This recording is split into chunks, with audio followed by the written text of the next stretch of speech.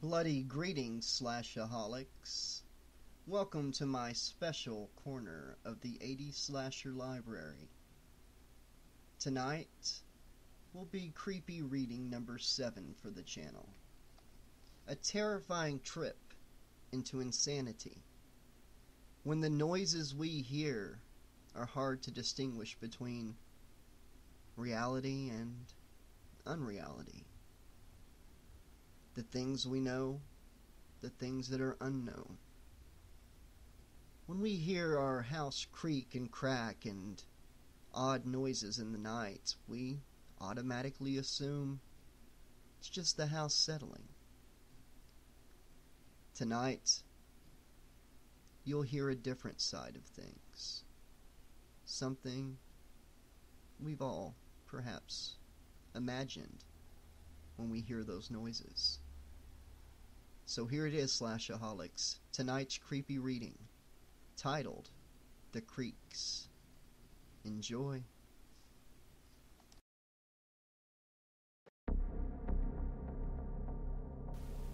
There is no such thing as house settling down noises. It is commonly heard you buy a new home, recently built, you move in with your family, and at least for the few first weeks, you are expected to go through some uncomfortable noises cracks, moans, and clacks, indicating that your house is settling down on its foundations. But no need to worry, this is just a temporary discomfort, bound to stop as soon as the house finally sits completely still. Let me be as straightforward as possible. This couldn't be further from the truth. Unfortunately, I speak from first hand experience. I am a car salesman. I really don't want to get into details of where I live since it would only endorse terror to any locals reading this. All you need to know is that I managed to make a small business on my own, and by the time I was 34, I finally had one of my biggest dreams come true. Through careful managing of my company and good investments, I was able to buy myself a house. However, I didn't just want any house. My goal was to build something of my own, like I had done so many years ago when I started running my business. And just that I did. I managed to sign a contract with the civil engineer, and after taking into consideration my ideas for a perfect place, we started building what I dreamed of one day calling home. The construction took around two years. I was, of course, nervous about making such a big investment. To be honest, I spent most of what I had for this house. But when I finally saw it, I could say without a doubt it was worth it. I now had a beautiful house in a nice suburban area, overlooking the center of the city from the hill it was built on. It was not really big, but it looked comfortable, with a nice view of the city. It even had a small garden where my then girlfriend could plant flowers and enjoy her coffee in the afternoons. Once everything was done, me and my girlfriend happily moved in. This was my last good memory of this place, I guess. I gently closed the door after bringing the last suitcase in and told my girlfriend the overused but always popular Home Sweet Home.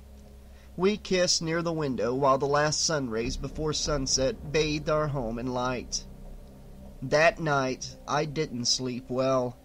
While trying to fall asleep, I heard annoying cracks coming from the kitchen. At first, I didn't pay much attention, but the cracks seemed different every time. I am not completely sure, but back then I felt like the sounds were coming from different spots every time. Like something was moving. I tried waking my girlfriend up.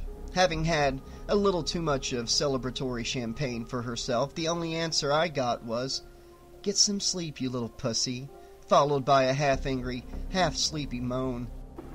I tried to do what she suggested. The noises were still there. They were fewer and not as loud, but they were distinct. I had almost gotten used to them when I got startled by the sound of broken glass coming from right inside of our bedroom. I instantly jumped up, terrified. looking around me in case there were burglars inside. I couldn't sense anyone. Once my eyes got used to the dark, I saw that my old glass snowball was on the floor, in pieces. It must have fallen down from my bedside table, but how? Our window was closed, so there is no chance the wind knocked it down. It just fell. Whatever, I thought. I was far too tired to pay attention, so I drifted to sleep. I heard nothing more that night. The next morning, I explained the situation to my girlfriend as best as I could. She wasn't really worried and said that sometimes stuff seemingly fall on their own. Nevertheless, I did contact the civil engineer to ask about the sounds, and he told me that it was normal to hear them because the house was still settling. The way he described it, it would be abnormal if I didn't hear something at all. I asked him for how long would this be happening, and he told me anywhere from three weeks to two months. I didn't like the idea of having ghost sounds around my house for that long, but what could I do? Three weeks came, then two months, and then a third one. However, there was no sign of quiet in my home. The cracks and the moans kept coming, sometimes loud, sometimes like a whisper. But every night it felt like they were coming from more places at the same time. Then I started hearing them inside my bedroom. Every single night I heard cracks from the walls and the sound of doors moaning. My girlfriend heard them too, but she was way more patient than I. I couldn't go through this any more. I called the engineer again, and this time he had no certain answer something about the hill having some faults, or and getting used to the extra weight of a new building on it. I I didn't believe him any more, so I did my own research. On the internet I found rubbish mostly, but after digging and digging I found out some intriguing stories. There were few people that talked about persistent noises way after their houses were built and then I stumbled upon something that looked like a crazy conspiracy theory, but it did catch my attention. It was a small text in a site full of crazy Ghostbusters like junk stories. It read, There are no house settling down noises. You would not believe it, but there are other creatures in this world seeking a place to live right amongst humans and these creatures thrive on fear and despair. To them, they feel like cocaine feels to an addict. Every building is completely settled and perfectly still, right when it is built. However, the otherworldly beings realize that their prey is about to reside in it, so they also try to occupy the property. They invite themselves, one or two at a time, and sometimes even more together. They find shelter inside the walls, above the ceilings, or anywhere dark enough to keep them covered. The sounds you hear at night is them moving, crawling, and searching for the best place to make their nest. They push the furniture just a little bit. They walk inside the thinnest of walls, and sometimes they may become a little clumsy and push something down from a shelf in their exploration. But this is just the beginning. Until now, there is no case of them attacking a human. However, they do feed on us, and their tactics are even worse. Since they love bringing terror to people, they start playing around with the residents of the home. They make even more terrible sounds. They become more aggressive. They slam the windows whisper to you during the night in their unholy language. They make you paranoid, and once you totally lose your mind and become an empty shell, they will wait until you die. Alone, crazy, forgotten by your loved ones who couldn't stand hearing a lunatic speaking about voices coming from their house again. Then they can finally feast on your rotting corpse and enjoy their elaborate hunt. Have you ever heard stories about people dying in their homes all alone?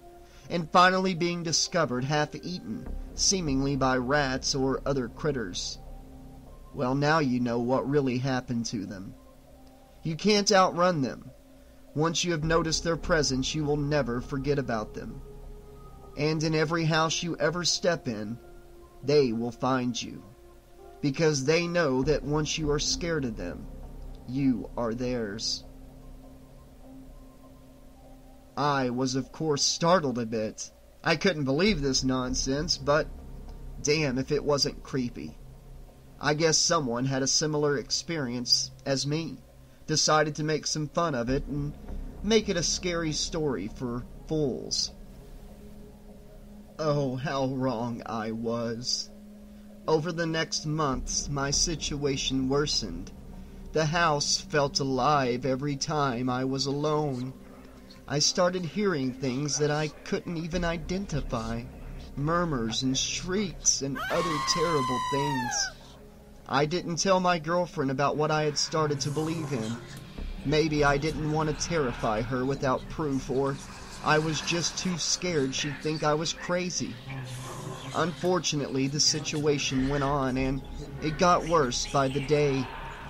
I couldn't sleep anymore. I lived in constant fear of my own home. I was always tired, and my work was affected since I was exhausted all the time. I started monologuing and shouting against the things that haunted me. My relationship became terrible. My poor girlfriend couldn't bear hearing me screaming in fear every night. She left me a cloudy winter morning, taking my last ray of happiness with her. I completely fell in paranoia after that. The cracks and the voices and the fallen objects were always there every time I returned home. In my desperation, I sold the house at a laughable price and I found a tiny place in the worst part of the city. I hoped I could escape, but it felt like all that I had read in that goddamn text was true, as the creatures in this house had seemingly found me too, and took advantage of the situation. The sick game started again. Now I started thinking that I could actually see them at the corner of my eye. I'm not safe. Whenever I go, they toy with me. They whisper to me. They make my entire house moan like a broken door. I can't stand this anymore.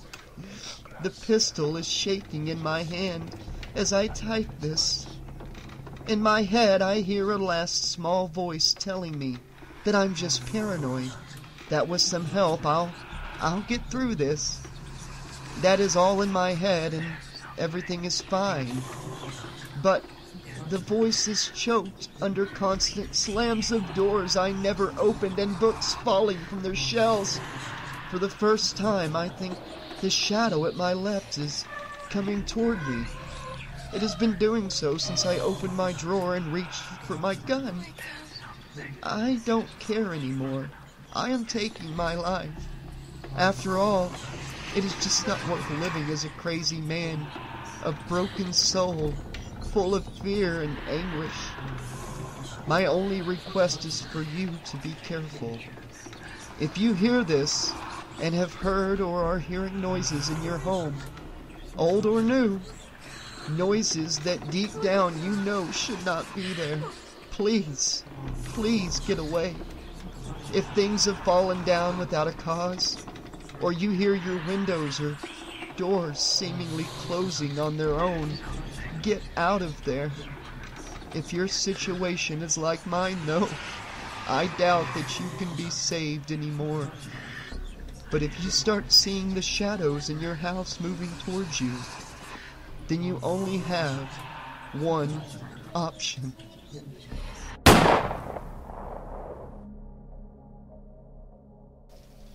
Okay, folks, this has been Creepypasta Reading number 7. This story, on the channel here, titled The Creaks, is from a Reddit post by Oren Katuli on Reddit in the subreddit No Sleep titled There is no such thing as house settling down noises. I'll supply a link to the original post in the description below. Please check it out. Drop them a comment, let them know you heard their story here on the 80 Slasher Librarian YouTube channel.